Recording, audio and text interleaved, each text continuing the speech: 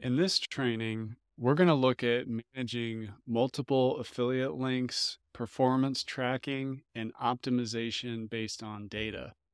So here we are on the Lifter LMS actual implementation of Pretty Links, where we help promote other products that integrate with Lifter LMS and products that are very popular in our community.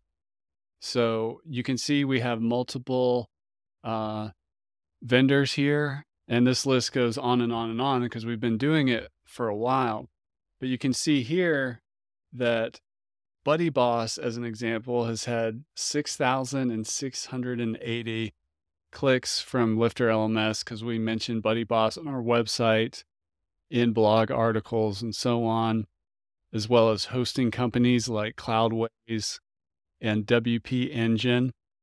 WP Fusion is a great plugin for integrating um, Lifter LMS with CRMs like Active Campaign.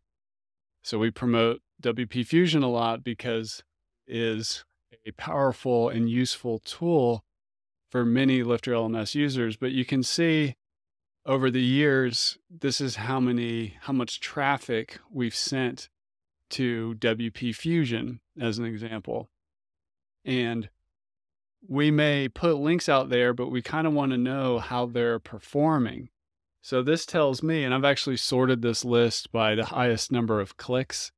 So these are some of the affiliate links on our website that have been clicked on the most. And this gives me data that, hey, a lot of people are interested in Buddy Boss and Cloudways hosting and WP Engine hosting. Hosting is a, to- a hot topic in our community.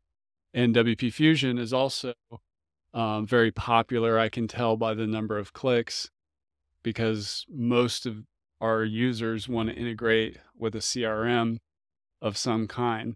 So this gives me a level of performance tracking. And it depends on how your accounting system is set up.